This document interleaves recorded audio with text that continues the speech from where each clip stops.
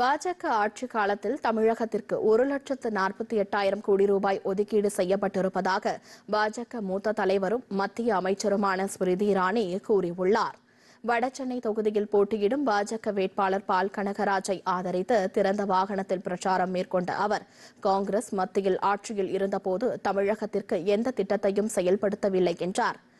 பக்தி நிறைந்த கலாச்சார பூமியான இந்தியாவில் திமுக சனாதன தர்மத்தை எதிர்ப்பதாகவும் கூறினார். அரசியல் சாசனத்தை எரித்த திமுகவுடன் கூட்டணி வைத்துள்ள காங்கிரசால் ஜனநாயகத்தை எப்படி காப்பாற்ற முடியும் என்றும் அவர் கேள்வி எழுப்பினார்.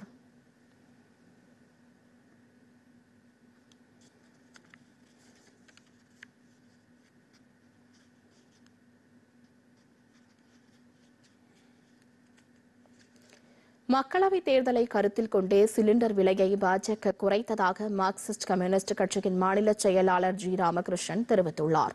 திருவண்ணாமலை மாவட்டம் செங்கம் புதிய பேருந்து நிலையம் அருகே நடைபெற்ற பிரச்சார பொதுக்கூட்டத்தில் பங்கேற்று பேசிய அவர் மீண்டும் பாஜக ஆட்சி அமைத்தால் நாட்டில் சர்வாதிகாரமே பின்பற்றப்படும் என்றார். கடந்த பத்து ஆண்டுகால பாஜக ஆட்சியில் தேர்தல் வாக்குறுதிகள் எதுவும் நிறைவேற்றப்படவில்லை என்றும் விமர்சித்தார்.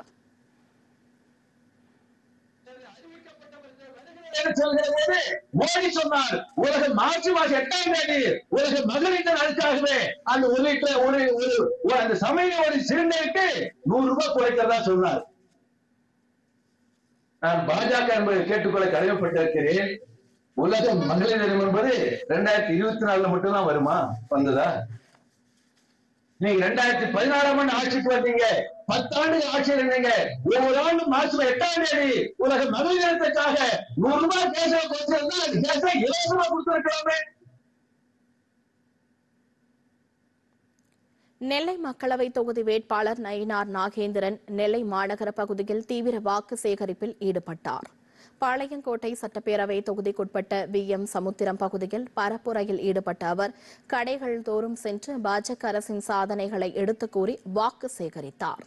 முன்னதாக வி. எம். சமுத்திரம் பகுதியில் உள்ள சுதந்திர போராட்ட வீரர் வஉசி சிலைக்கு நயினார் நாகேந்திரன் மாலை அணிவித்து மரியாதை செலுத்தினார். வாக்காளர்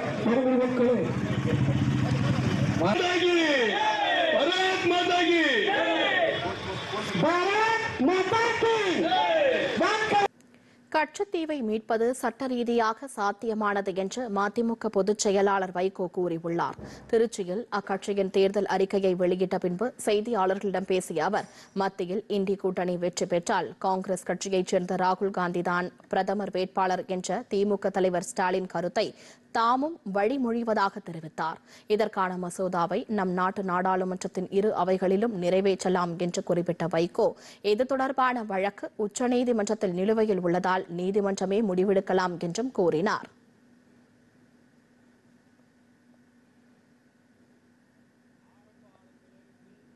கச்சத்தீவு நமக்கு சொந்தம் ராமநாதபுரம் அரசருக்கு சொந்தம்.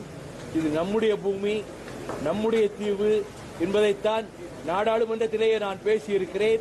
அந்த நிலைப்பாட்டிலே நான் உறுதியாக இருக்கிறேன்.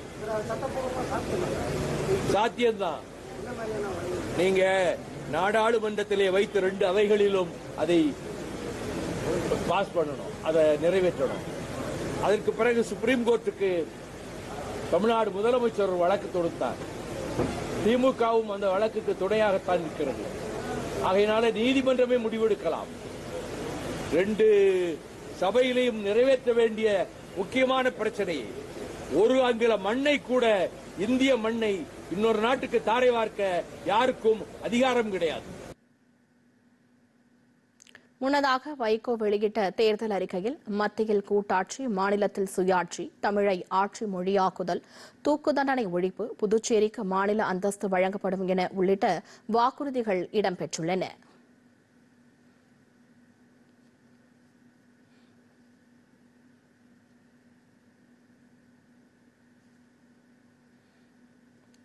விவசாயிகள் மீனவர்கள் இளைஞர்கள் நலனில் கூடுதல் கவனம் செலுத்தி செயல்படுவேன் என திருவள்ளூர் மக்களவைத் தொகுதி பாஜக வேட்பாளர் பொன்பால கணபதி தெரிவித்துள்ளார்.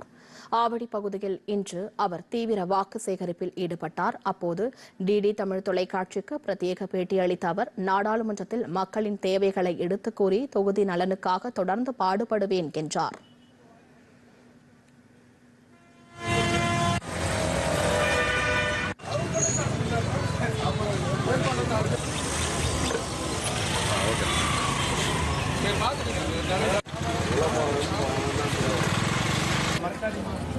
முன்னதாக ஆவடி ரயில் நிலையம் அருகே பொதுமக்களிடம் தொண்டு பிரசுரங்களை விநியோகித்து பொன்பாலகணபதி வாக்கு சேகரித்தார்.